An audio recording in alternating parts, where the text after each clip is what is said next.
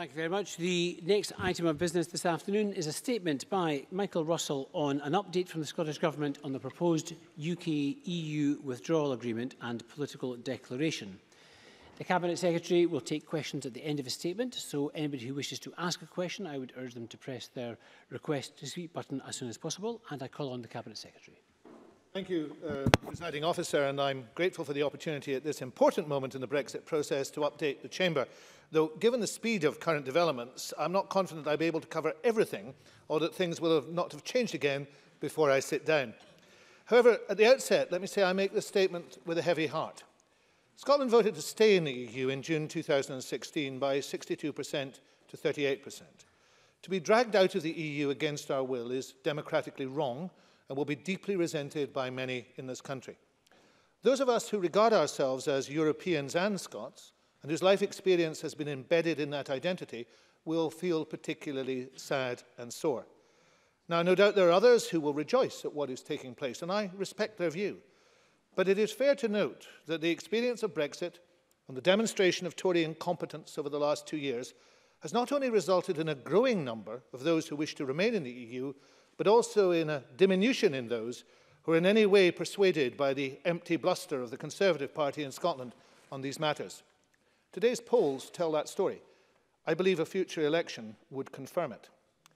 But this is a sad day nonetheless. A day in which spin, rhetoric, the misuse of funds, and the manipulation of electoral legislation has led to the worst and most damaging decision made by a UK government in any of our lifetimes.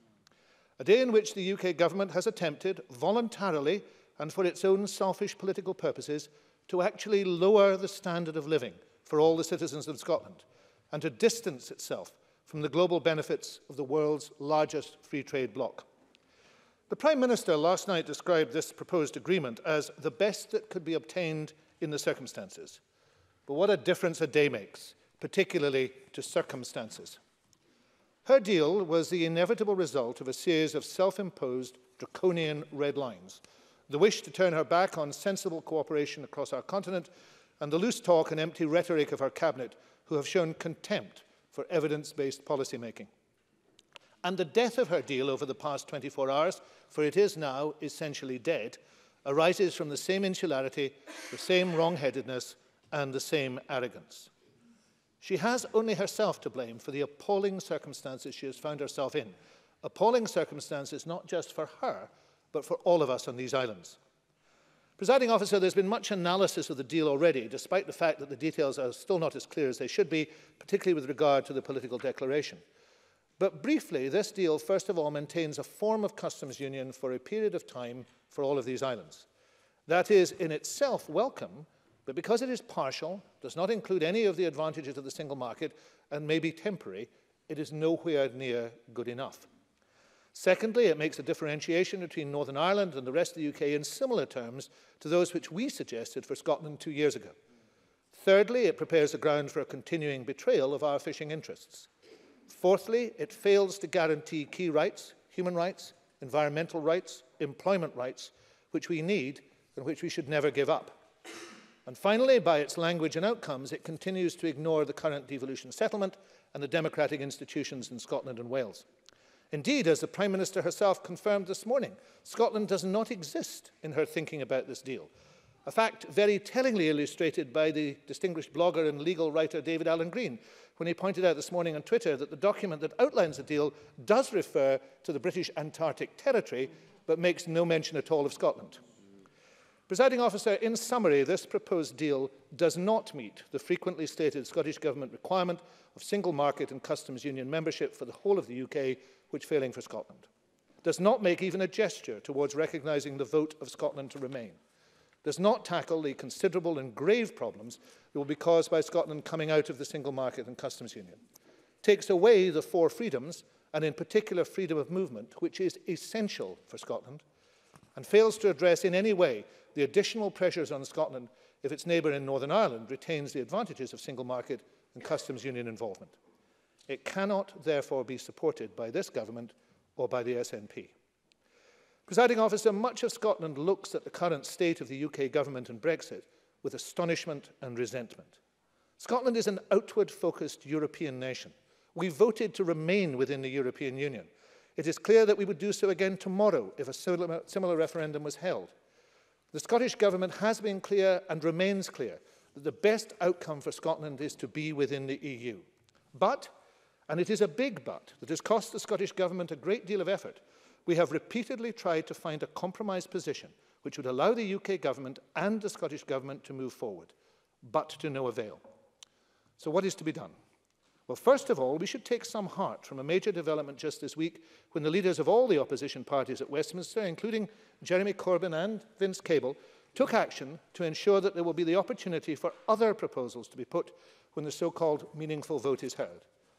There are many alternatives that might be considered, including the Scottish Government policy of remaining in the single market and the customs union, as well as an EEA model, remaining in the EU, as the Prime Minister herself let slip, it is an option yesterday.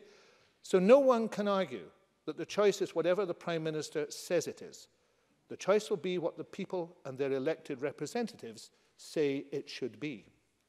We will therefore, as a party in the House of Commons, continue to work in a constructive and common sense way with other opposition parties to try and save us from the chaos of this Tory Brexit.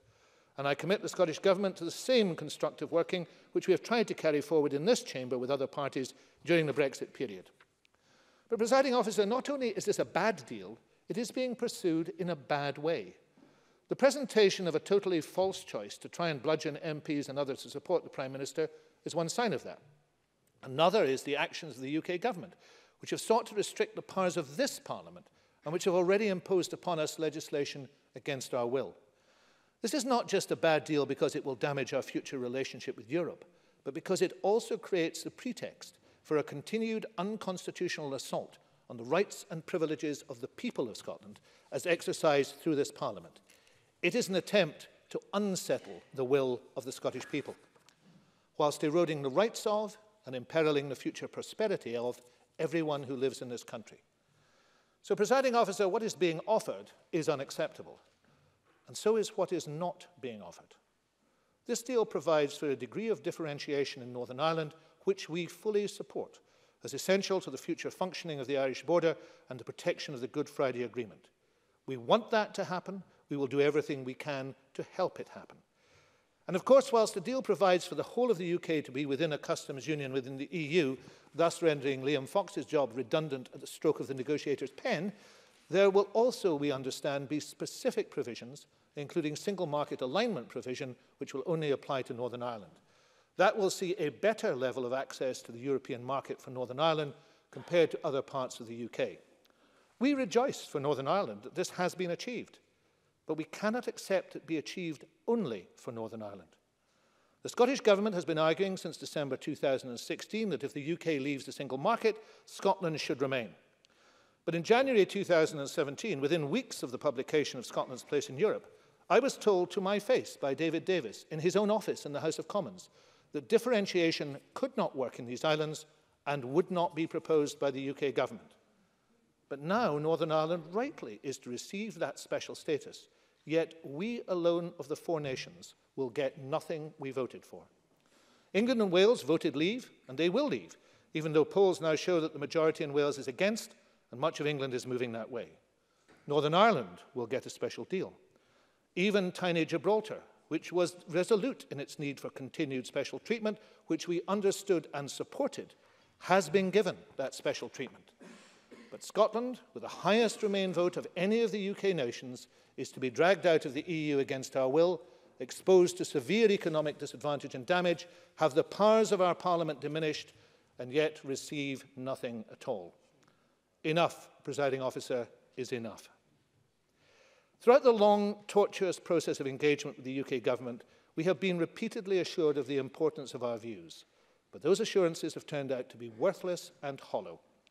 So what, presiding officer, do we here in this Parliament do next? Well, firstly, we should go on working with others in Scotland, in the UK and across parties to ensure there is a better deal than the false choice offered by the UK government of this disastrous deal or no deal. An election, the people's vote, remain within that mix. We will also ensure that this Scottish Parliament has the right to give its own view on this deal. And I confirm today that the Scottish Government will bring the deal, if agreed at the Brussels summit on November the 25th, to this chamber for a vote before the vote takes place in the House of Commons. And of course, our motion will be amendable. That is how a proper parliament should work. But as I said at the beginning of this statement, presiding officer, this is a sad day for those of us who believe and still believe in the importance of European cooperation. Those of us who reject the demonizing of migration, the misrepresentation of cooperation, and the assertion of false claims regarding taking back control and the independence of the UK. Those of us, in other words, who still believe in a better future for our country. Of course, in one sense, we have been here before. The promises made from 2014, lead not leave, for example, have turned out to be worthless. We are not an equal partner, and the events of this week have proved it beyond peradventure. And I know that from each and every meeting of the JMC I've attended on behalf of this government. Far from leading the UK, the people of Scotland have been ignored and dismissed. Westminster has treated and goes on treating Scotland with contempt. But it does not have to be that way. It should not be that way. And I would contend that it is the duty of every elected representative in this place to make sure it isn't allowed to be that way. We should understand that politicians are, if they are anything, people with a vision of a better future – motivated by a burning desire to help our fellow citizens achieve it. Brexit isn't a better future. It's a backward step into a false and imagined past. That is now crystal clear, and every word of this deal proves it to be true. Things in Brexit, presiding officer, for Scotland can only get worse. So we must acknowledge that this deal is unacceptable to Scotland and her citizens, and we must then find a way to work together to ensure that our country is not failed by a disastrous Tory Brexit, but enabled to flourish by choosing a different way forward.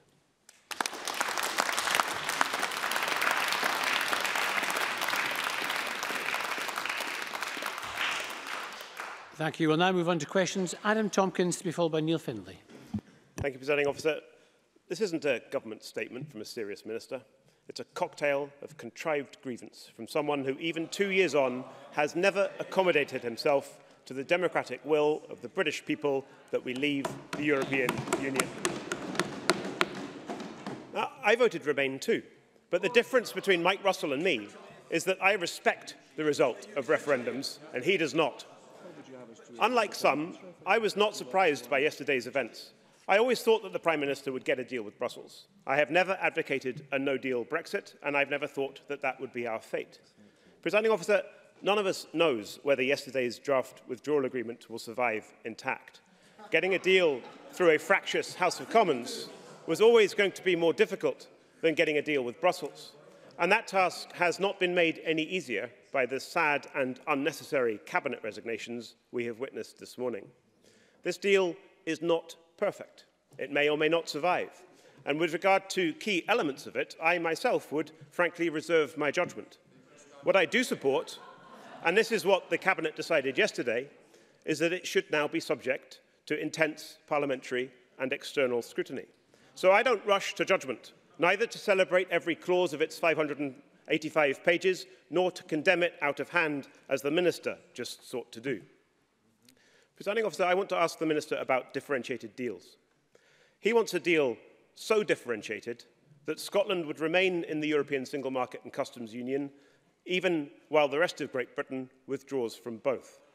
Is it not the case that he wants that for the very reason that I am resolutely against it, namely that it would destroy the integrity of the United Kingdom, which Scotland voted to remain part of in 2014? Does the Minister not accept that the draft withdrawal agreement published yesterday contemplates nothing of this sort? Its detailed, lengthy and, yes, complex provisions on Northern Ireland are miles away from the SNP's disastrous proposals for an altogether different sort of Brexit. Cabinet Secretary. Uh, to address the substance of the question, no, I do not agree. It is quite obvious a reading of, of any of the documents indicates that there are huge similarities in terms of what is being proposed for Northern Ireland and a negotiation that led to an implementation of some of the recommendations of Scotland's Place in Europe, which was published in December 2016, uh, would allow for a, a sensible compromise. I think it's more likely that uh, the, the precious union, I notice this word, the union has to be, uh, uh have the word precious in front of it now for any Tory to talk about it, is more likely to be damaged uh, uh, in the long term and in extremist by the type of dogmatic approach that the Prime Minister has taken and the completely out of touch approach we've heard from Mr. Tompkins. Because I, I believe that on those Tory benches, I know actually, on those Tory benches, there are people who know how ridiculous and appalling this situation is now. There are sensible people who would support a sensible way forward, who could not in any way support what they see happening at Westminster, where the Tory party is literally falling to pieces before our eyes. And I do hope that perhaps some of those people might eventually step forward and say, enough is enough. Because that is essentially what I think they should do as representatives of the Scottish people rather than as conservatives. That will be their choice. But I don't believe, I don't believe that the tone of Adam Tompkins' question does anything other than betray the fact that he may well be one of those people who knows how wrong this is. Neil Findlay to be followed by Ross Greer. Neil Findlay.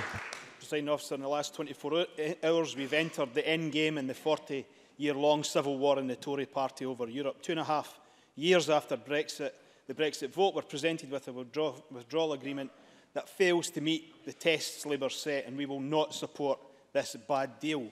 We've always put Scotland first in this, and this is not a deal that meets the, uh, Scotland's needs or indeed the needs of other nations and regions of the UK, and it fails to respect devolution. It does not meet our demand for a permanent customs union arrangement. It fails to set out the collaborative and cooperative future with the EU that we want to see. It fails to provide equal access to the single market or guarantee that we'll not fall behind in workers' rights, consumer protection and protection of our environment.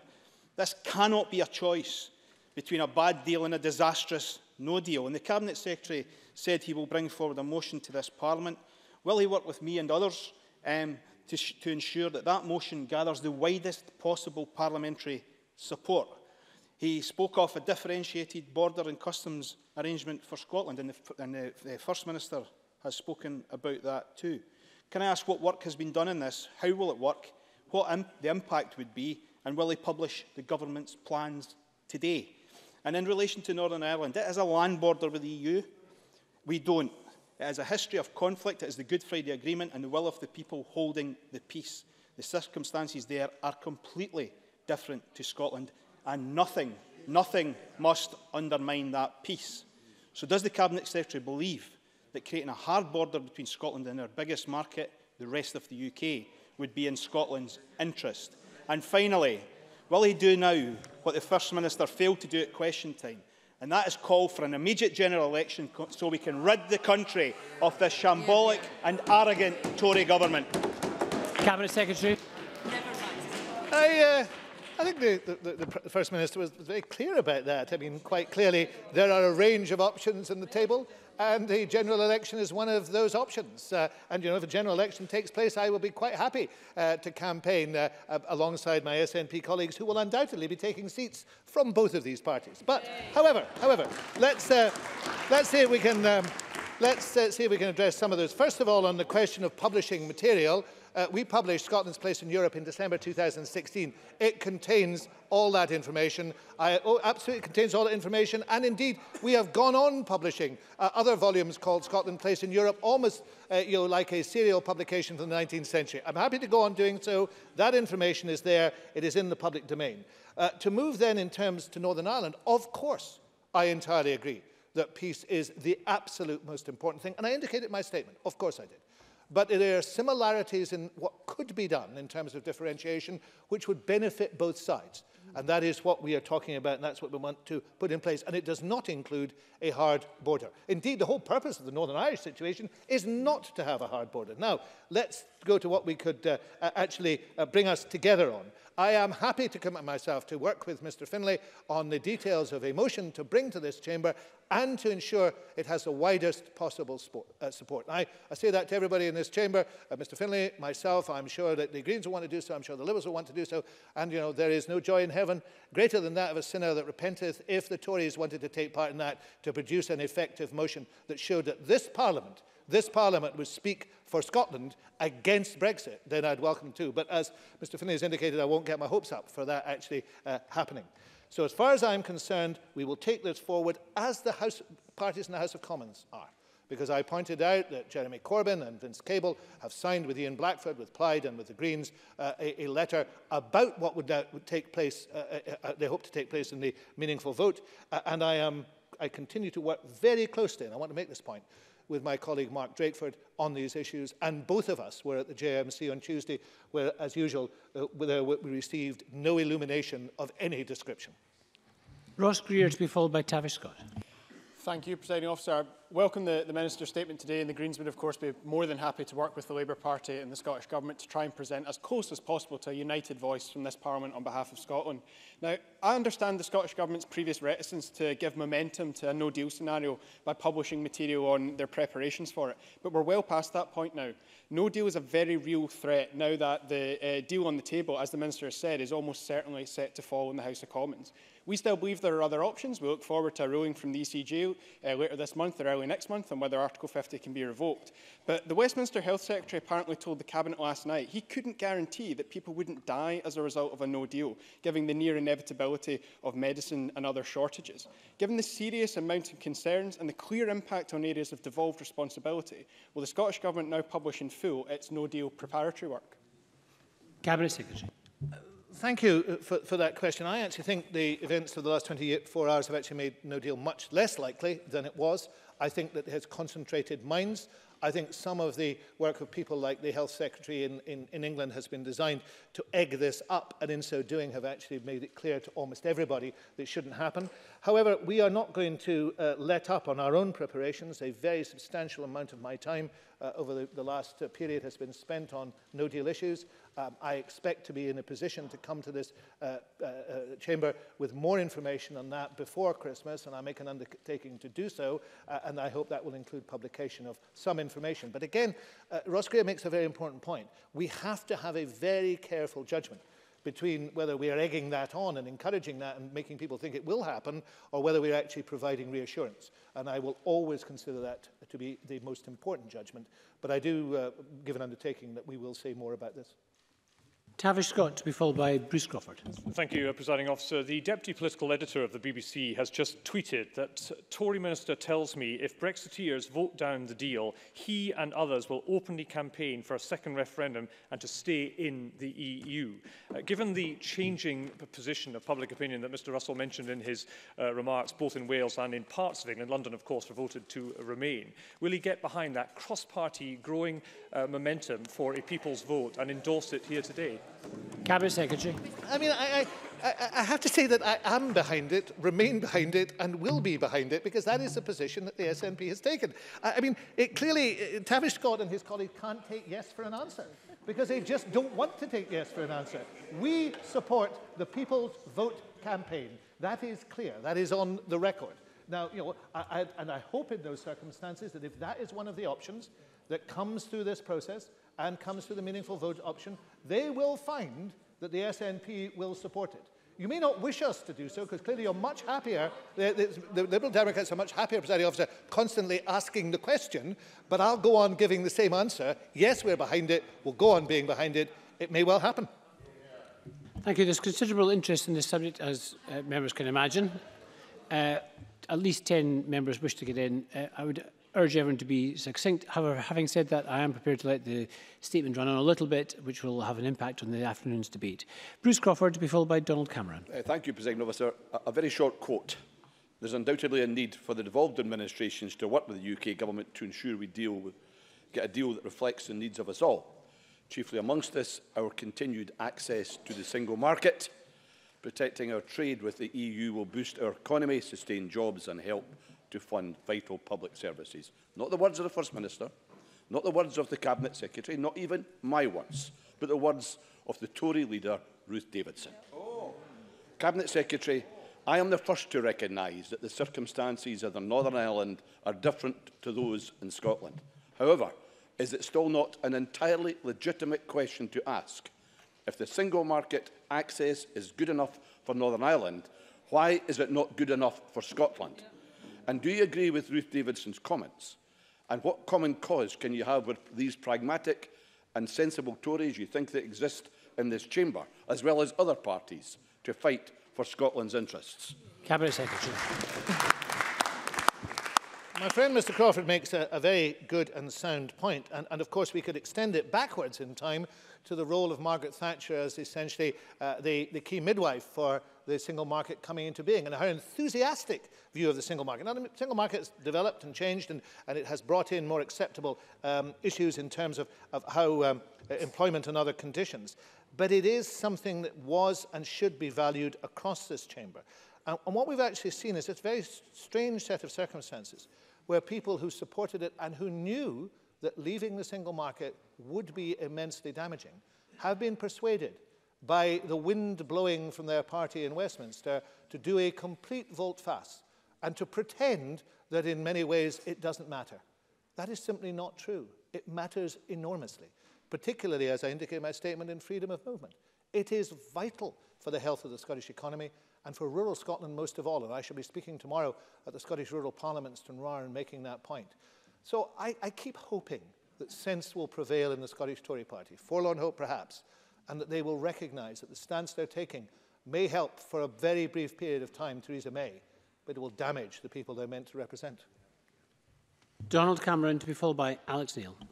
Thank you. Um, whereas the Scottish Conservatives publicly sought assurances from the Prime Minister yesterday that the draft deal protects Scotland's fishing interests, isn't it the case that the Scottish Government's position is to take Scotland straight back into the common fisheries policy and accordingly any betrayal of our fishing interests lies at the door of the SNP? Cabinet Secretary.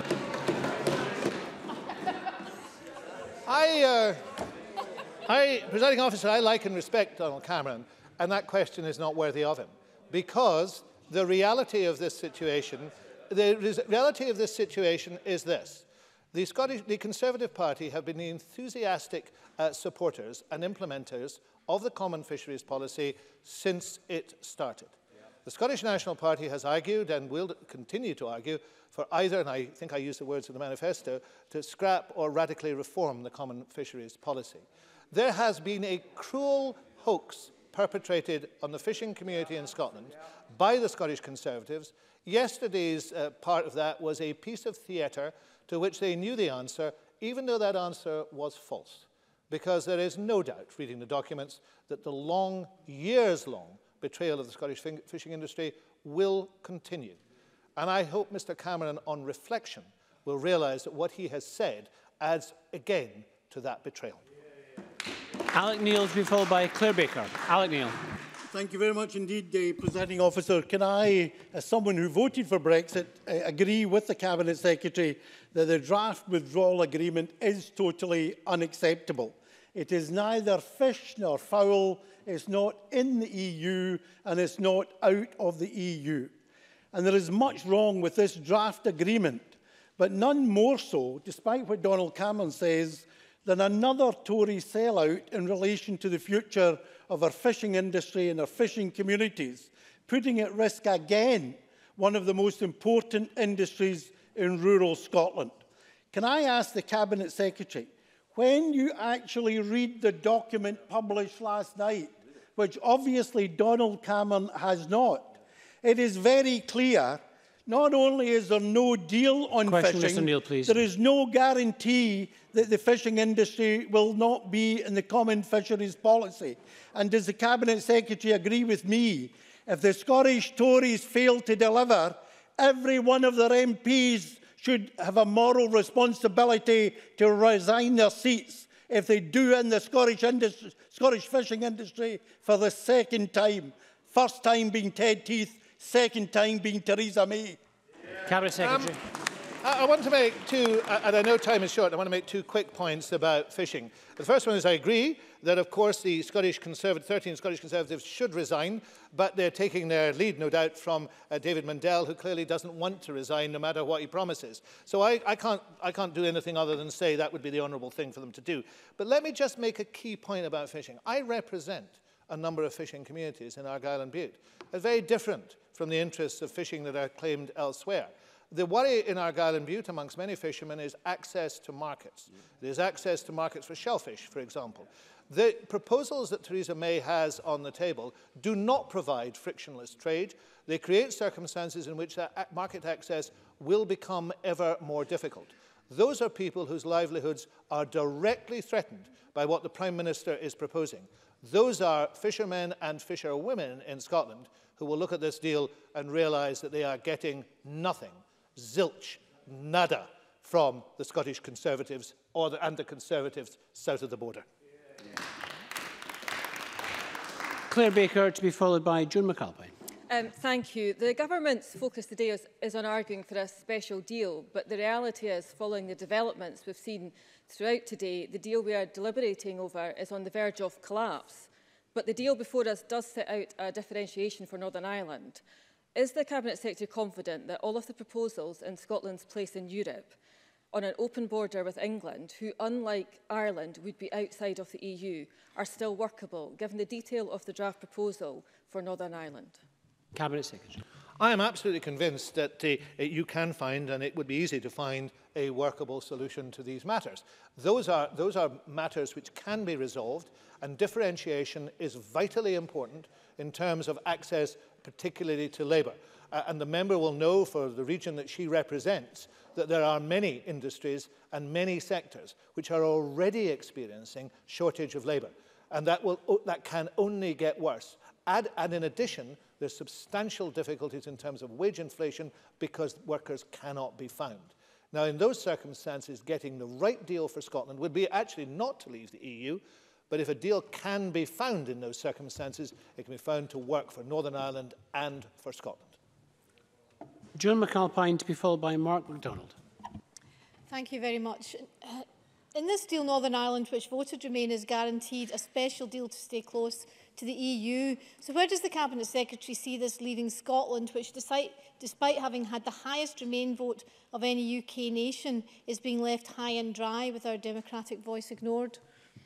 Cabinet Secretary. I would simply go back to the, the account of the conversation I gave with David Davis. There was a root and branch refusal to accept differentiation at the beginning of this process. Uh, when that became essential for Northern Ireland, uh, there was a view uh, from the Prime Minister, I suspect, because she controls everything or tries to control everything, there was a view from the Prime Minister that no ground should be given to Scotland. We know in terms of the briefings that we now understood took place to say to the EU that nothing must be drafted that would assist Scotland, that there was essentially a negative, dog in the manger attitude from the Prime Minister has affected this. We continue to argue that another way is possible and we will go on arguing that. Mark McDonald to be followed by Liam Kerr. The draft agreement appears to offer no guarantees on the future ability of the UK to be involved in European reference networks, which allow knowledge and expertise about rare diseases and work on treatment and cures to be shared across Europe. Now, I appreciate the many issues the Cabinet Secretary is wrestling with, but will he offer his support for the Genetic Alliance campaign to protect involvement in ERNs and undertake to raise this matter with the UK Government, given that for many people this could literally be a matter of life or death? Cabinet Secretary. The member makes a very good point. It is, it is one of the issues which causes enormous concern, and of course there are many of them. Uh, if the member would like to write to me or come and see me and give me that information, perhaps with the organisation, uh, I've seen the outline information, I will undertake to take it forward. Uh, on a general point, there are whole areas in this where, although issues may be referred to in passing, nothing is tied down. And the process of tying down this material and information will take years uh, the real problem that we now face, if, if anything like the Prime Minister's deal were to go forward, is that we would then be faced with an implementation period that would have to be renewed. And at any time during that, we could see a, a collapse in talks, but also we will be in that limbo for a long period of time. None of that is necessary if we took a single market and customs union approach. Liam Kerr to be followed by Ruth McGuire. Thank you, Presiding Officer. In December 2016, Michael Russell stated, that membership of the single market is, and I quote, clearly not going to happen. What's changed?